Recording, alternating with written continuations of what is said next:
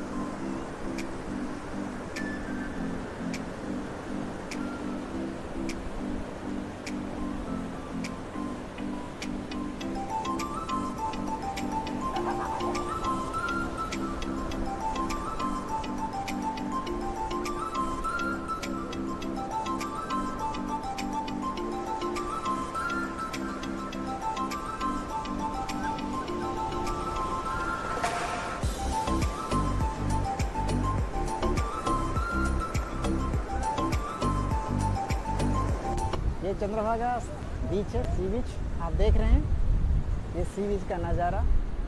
और जब भी आए तो यहाँ आना ना भूले कोणार्क के साथ साथ इस सी बीच को अनुभव आप कर सकते हैं। जो शानदार नज़ारा है यहाँ। आप देख रहे हैं। मेरे साथ बने रहें। मैं दिखा रहा हूँ यहाँ। आप राइड भी कर सकते हैं सैंड पर।